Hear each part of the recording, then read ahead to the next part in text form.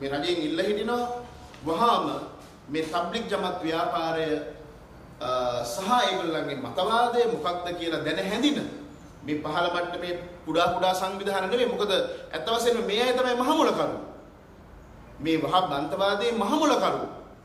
ඒ අන්තවාදයේ කොයි කලෙක ඇති වුණාද කියන එක ගැන අපිට කාලවකවානු කියන්න පුළුවන්. ඒක 1700 ගණන් වලද 800 ගණන් වලද කොහොමද? කින්ද බන්දි ඉන්දියාවෙන් දාවේ. මොකක්ද ඒවා වෙනම කතා. හැබැයි අපේ රට ඇතුලේ මේ මේ තියෙන අනතුර දැක දැක ඒ අනතුරින් ජනතාව මුදවා ගන්න ඒ ප්‍රජාව මුදවා ගන්නව වෙනුවට ඒ අනතුර සමස්ත රටටම ව්‍යාප්ත කිරීම සඳහා මේ තබ්ලික් කල්ලිය වැඩ කරන බව අපි දන්නවා. ඒකට විශාල චෝදනා ප්‍රමාණයක් තියෙනවා. හැබැයි ඒව සම්බන්ධයෙන් වග විභාගයක් කළාද කියන ගැටලුවක්. ඉතින් අපි රජයෙන් ඉල්ල හිටනවා විශේෂයෙන් මේ මොහොත වෙනකොටත් ඒ රටවල් වල කටයුතු යම් ආකාරයකට දේශපාලනික වශයෙන් අඩපණ කිරීම සඳහා මේ තබ්ලිග් ජමාත් ව්‍යාපාරය පාවිච්චි කරලා තියෙනවා. 2018 අවුරුද්දේදී සල්මාන් කුමරු එතුමගේ ප්‍රකාශනයකදී ඉදිරිපත් කරනවා අපි පිළිගන්නවා සෞදි අරාබියාව උදව් කළා මේ වහබ්වාදයේ ලෝකේ පුරා ප්‍රචාරය කරන්න. එහි තියෙන විපාක දැන් අපි දැනගෙන තියෙනවා. අපි ඒක කළේ සෝවියට් සමූහාණ්ඩුව බිඳවට්ටන්න ඕන නිසා නමුත් දැන් මේක ලෝකෙටම අනතුරුදායක එකක් බව අපි තේරුම් අරගෙන ඉන්නවා. ඒ නිසා මේ වහබ්වාදය අඩපණ කිරීම සඳහා කටයුතු කිරීමට ඒගොල්ලෝ සූදානම්. අපි අරමුදල් අරමුදලු සැපයුවයි කියලා ඒගොල්ලෝ පිළිගන්නවා. ඉතින් ඒ වහබ්වාදය පෝෂණය කරපු රටේ රජ ඒ කුමාරයම ඒක තේරුම් අරගෙන Tamanගේ වැඩපිළිවෙළවල් අඩපණ කරන්න කියලා නීති රීති සකසලේව තහනම් කරද්දී අපේ රට තුලත් සහරාන් පන්නේ උදවිය මරාගෙන මැරෙන තැනට තල්ලු කරපු මේ වහබ්වාදයේ පෝෂණය කිරීමට උඩගෙඩ දීපු මේ නායකයන් සහ ඒ ඒගොල්ලන්ගේ සංවිධාන පවත්වාගෙන යන එක ඇත්තටම ඉතාම සංකීර්ණ වූ ප්‍රශ්නකාරී එකක්.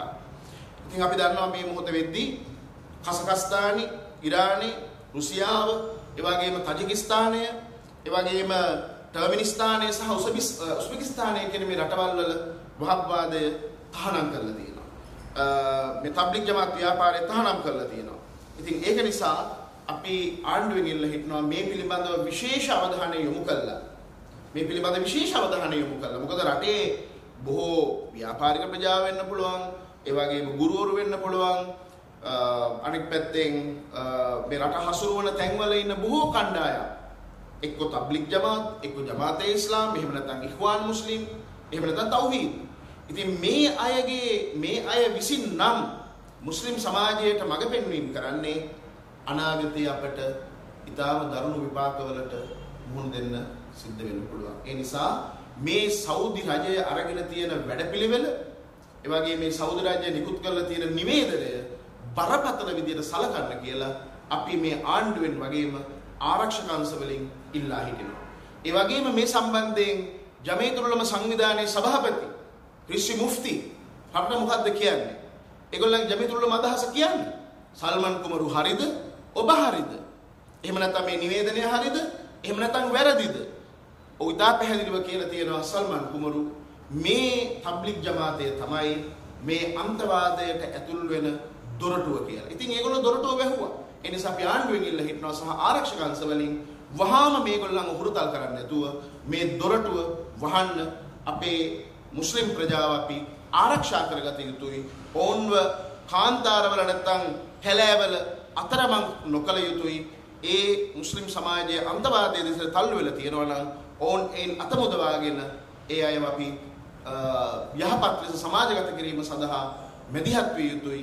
ඒ වෙනුවෙන් මේ ප්‍රජාව නොමග යවන මේ ආගමික නායකයන් දැන් දොරටුවක් කරලා දෙනවා තරුණයන්ට අන්තවාදයට යන්න. අර අහිංසක තරුණයෝ හිරගෙවල් වල දුක් විඳිනවා. ඒගොල්ලන්ව පුනරුත්ථාපනය කරන්න ඕන කියලා යෝජනා දෙනවා. හැබැයි මේ මෙහෙවන දොරටුව ඇරලා දෙන කවුළුව විවෘත කරන නායකයෝ ටික දේශපාලන නායකයොත් එක්ක සාකච්ඡා කරනවා. අපේ අනිත් අන්‍යාගමික නායකයොත් එක්ක සාකච්ඡා කරනවා. අනිත් පැත්තෙන් ඒගොල්ලෝ දොරටුව ඉවර කරලා දෙනවා ඊළඳාරීන්ට. ඒ නිසා මම හිතන්නේ මේකට උඩගෙඩි දෙන ඒ සියලුම දෙනා මැති ඇමතිවරුද දේශපාලන නායකයෝද නෙවෙයි මොනවාද මේ ජමේතුරුලම සම්මිත ඉස්සර වෙලාර නොමග ගිය තරුණයන්ට කලින් මෙන්න මේගොල්ලන්ව පුනරුත්ථාපනය කළ යුතුමයි මේ ප්‍රශ්නෙට උත්තරයක් හොයාගන්න නම්.